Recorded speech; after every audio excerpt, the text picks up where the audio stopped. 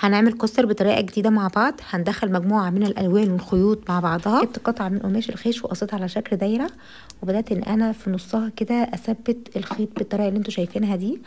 آه اللي هيسألني بجيب الخيوط منين؟ بجيبها من محلات الخيوط والخردوات آه وبرده موجودة في العتبة وفي المكتبات الكبيرة.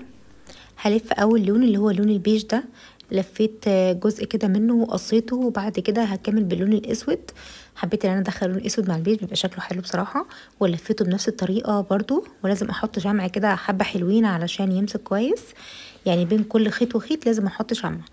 لو عجبكم الفيديو ما تنسوش ال like وتابعوني علشان يوصلكم كل جديد. وبعد كده بقى هكمل بالخيط بتاع الخيش. كملت بيه تقريبا ال coaster كله.